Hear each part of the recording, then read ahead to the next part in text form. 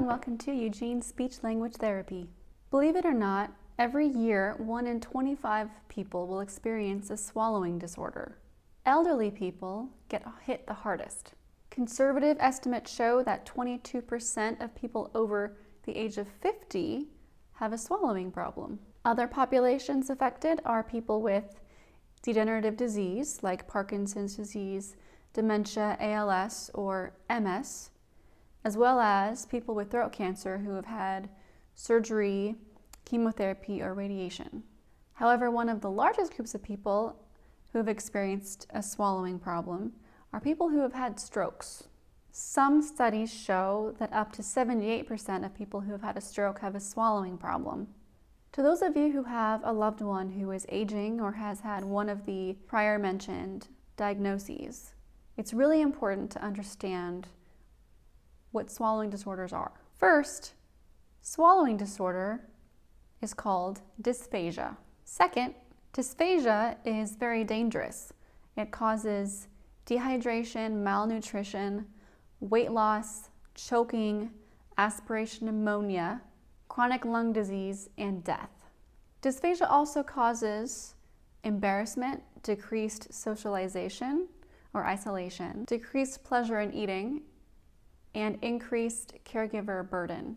Common signs and symptoms to look for. Weight loss, drooling or loss of food or drink from the mouth, coughing while eating or drinking, complaints of food sticking in the throat, pain when swallowing, repeated bouts of pneumonia, long chewing time, and pocketing of food in the cheeks. Pocketing of food in the cheeks is when someone, for instance, who has dementia and has decreased awareness in general, or who has had a stroke and has decreased sensory feedback in the cheek, won't feel or notice there's food still hanging out in their mouth.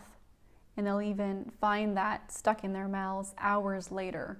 This is not an exhaustive list, and I will be posting more videos on this topic.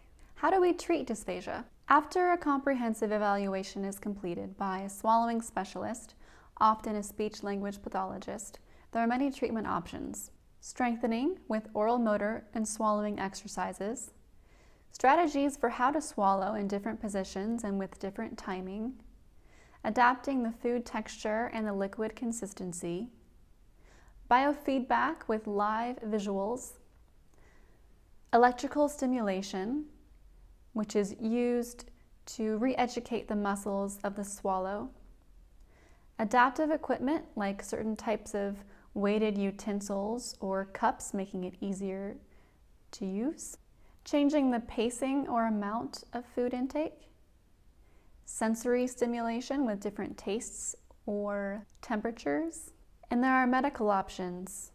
For instance, medicine for reflux or feeding tubes. It's important to note that while many people with dysphagia are very motivated to improve their swallow, in some populations, for instance, the elderly, people in their 90s who are sick and may not get better, swallowing is one of the first signs for someone's decline to end of life.